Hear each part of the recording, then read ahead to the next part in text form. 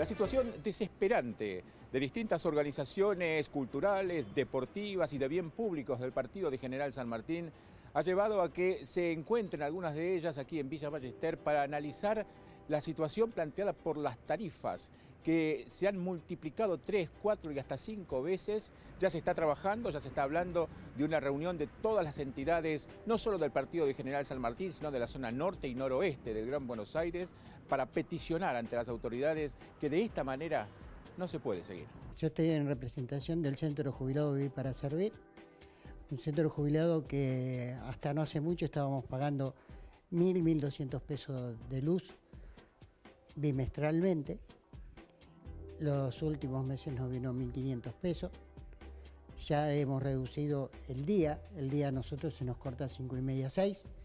O sea que hay un montón de gente que no puede seguir asistiendo. Yo soy presidente de la Unión Vecinal Eduardo Crespo. Eh, las tarifas han excedido la posibilidad de pago que, tienen, que tenemos en la institución. Entonces es por eso que buscamos la manera de unificar, eh, en, en, esta necesidad unificarnos, unirnos, para poder peticionar ante las autoridades, autoridades que deberían haber eh, previsto el daño que se está haciendo en las instituciones. Nos cuesta la participación de los socios físicamente y también económicamente. Entonces, al no poder la gente poder colaborar, que es voluntario con esta cuota, afrontar los pagos de estos servicios se hace complicado creo que por ahí por lo menos tendrían que haber pensado esas percepciones, obviarlas momentáneamente hasta salir de, esta situación, para tratar de bajar un poco los gastos. Soy secretaria de actas de la Sociedad de Fomento Siglo XX de Ballester y la situación de nosotros es prácticamente la misma.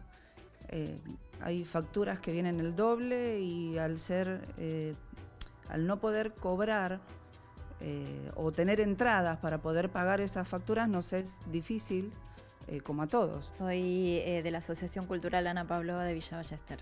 Tuvimos aumentos del orden del 400% en casi todos los servicios. Lo primero que hacemos es no transferir ese costo a, las... acá tenemos actividades gratuitas y aranceladas. Las aranceladas sostienen a las gratuitas. Igual son aranceles muy accesibles para el, tipo de, propuesta que, nosotros hacemos. Eh, y sí, no, no estamos pudiendo transferir esos costos a la actividad porque también hemos visto que la gente que viene eh, empieza a tener también sus dificultades en sus casas con los mismos problemas que nosotros. ¿no?